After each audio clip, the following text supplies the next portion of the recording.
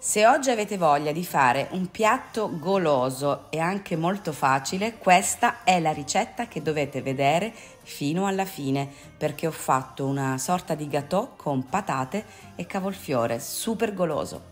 Allora, avevo delle patate da smaltire, infatti sono durissime da schiacciare, se le avete calde è anche meglio. E insieme alle patate ho schiacciato anche del cavolfiore che avevo appena fatto, avevo fatto la, la pasta a pranzo e adesso volevo fare il cavolfiore in un altro modo goloso. Ho aggiunto del sale con il mio macina sale stupendo e insieme al suo fratellino il macina pepe ho aggiunto anche del pepe. Quindi ho messo un uovo, una, un paio di cucchiai di formaggio grattugiato, potete mettere quello che più vi piace, anche il pecorino. Poi, ahimè, eh, un pezzetto di burro ci sta perché così viene bello morbido e ho mescolato fino ad amalgamare bene tutti gli ingredienti. Adesso è arrivato il momento di cominciare a prezzare alla pirofila, deve andare in forno, quindi una bella pirofila da forno, eh, spalmate con un po' di burro e eh, aggiungete anche del pan grattato che servirà a donare al nostro gâteau, ormai lo chiamiamo così, una bella crosticina Mettete metà del preparato di patate e broccoli nella pirofila e poi preparate la farcitura. Io ho messo della mortadella, ecco che arriva, e della provola, della scamorza.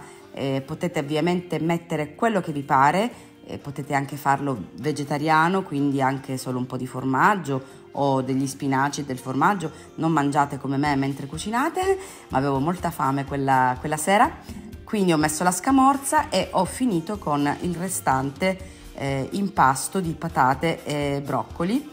Ho schiacciato per bene prima di mettere in forno, ma eh, anche qui, eh, visto che ormai il danno era fatto, ho aggiunto dei pezzetti di, di burro e poi ho messo appunto ancora una, un po' di pan grattato perché eh, deve essere, ormai l'abbiamo chiamato gâteau, deve essere simile a un vero e proprio gâteau.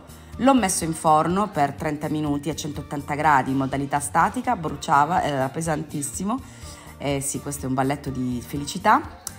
Ho tagliato perché volevo farvelo vedere subito, ma era bollente, si è un po' scafasciato tutto, anzi scafazzato, come si dice dalle mie parti, però guardate che figata, wow! Ah, hai visto, hai visto, c'è un pezzetto che non ce la fa a reggersi, però era troppo buono abbiamo fatto una cena super golosa con tutto praticamente pronto, eh, mi erano avanzate delle patate, mi erano avanzati dei broccoli e voilà, questo è il mio gâteau broccoli e patate che oggi voglio dedicare a voi per iniziare una settimana nel migliore dei modi.